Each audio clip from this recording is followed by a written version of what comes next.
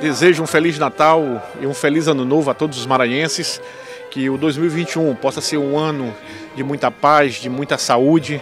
que a gente possa superar todas as dificuldades que nós tivemos no ano de 2020, mas que 2021 venha recheado de esperança nos corações, com a ajuda de Deus e com o trabalho nosso da Assembleia, nós vamos dedicar sempre para o fortalecimento do nosso Estado e que esse 2021 seja um ano de muito sucesso e de muita prosperidade a todos os maranhenses.